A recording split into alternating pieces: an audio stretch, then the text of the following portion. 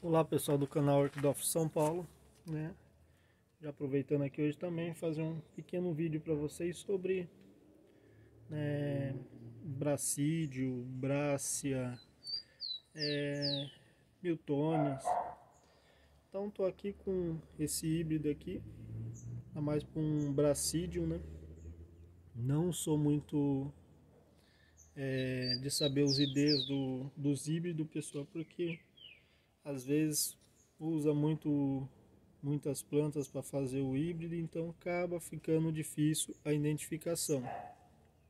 Mas para você estar vendo, se bracídio, largatinha comer um pouquinho aqui.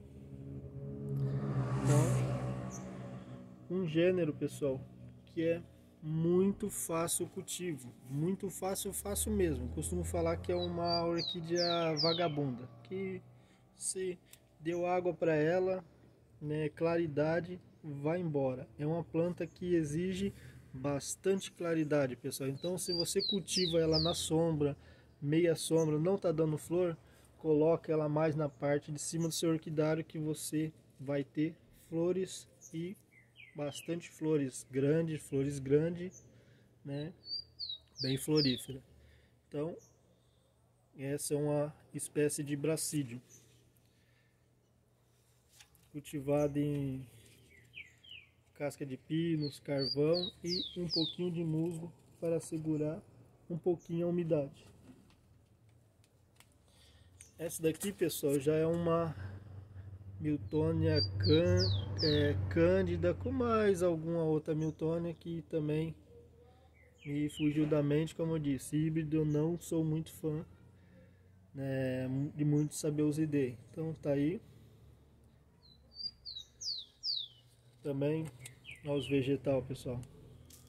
Super saudável vegetal também cultivado em casca de pinos, carvão carvão e um pouquinho de musgo. Então, vegetal. Para vocês verem, o vegetal meio amareladinho, que é sol. Né? Essa espécie gosta de bastante sol, pessoal. Essa daqui mesmo, ela chega a florescer umas duas vezes por ano, pessoal.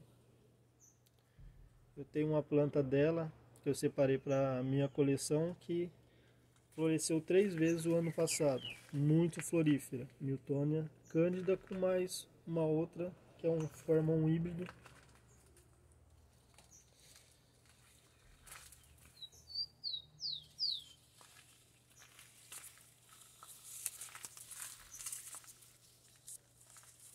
Tem essa outra aqui, pessoal, a, brácia também, variedade brácia.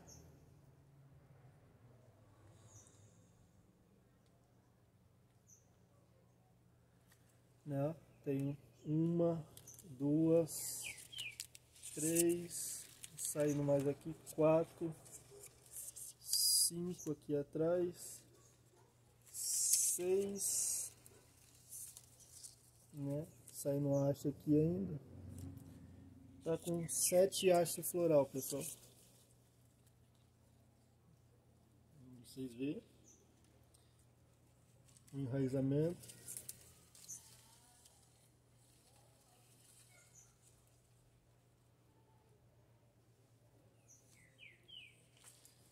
Essa daqui, pessoal, está sendo cultivada no cachepô de madeira, né, com mix também de casca de pinos, carvão e está forrado por baixo do cachepô com fibra de coco. Mas, pessoal, não usem fibra de coco, forram com musgo, né? Quando eu coloquei ela, eu coloquei fibra de coco, eu não tinha é, muito conhecimento, pessoal, em orquídea e a fibra de coco não é legal, entendeu? Para vocês verem, ela está enraizada na parte de cima do cachepô, no casca de pinos. Você não consegue ver um bom enraizamento ó, no forro, entendeu? No forro do cachepô, que é fibra de coco. Ó. Isso, sei lá, parece é, resina, é um negócio estranho, pessoal. Não usem as orquídeas não gostam Vocês podem ver, ó, não está enraizada na fibra de coco, ó. É só uma pelinha, só para segurar o substrato. o substrato está aqui, ó. É bem fininho, mas as orquídeas não enraizam nela, pessoal. Então, não usa fibra de coco para plantar orquídea.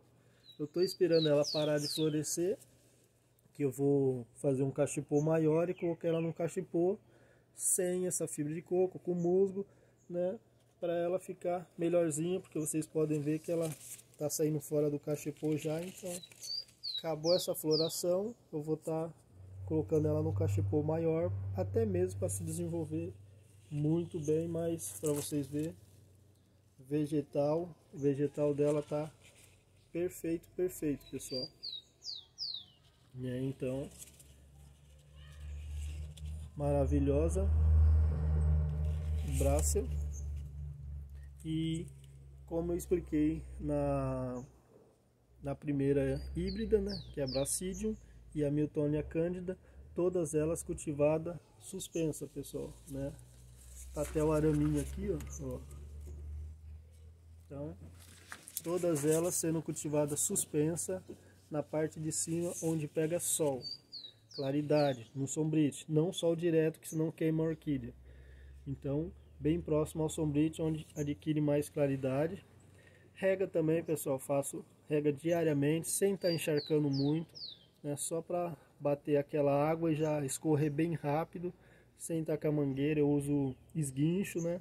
Bem mais fácil para regar que vou, vou estar fazendo um vídeo sobre as regas que eu faço.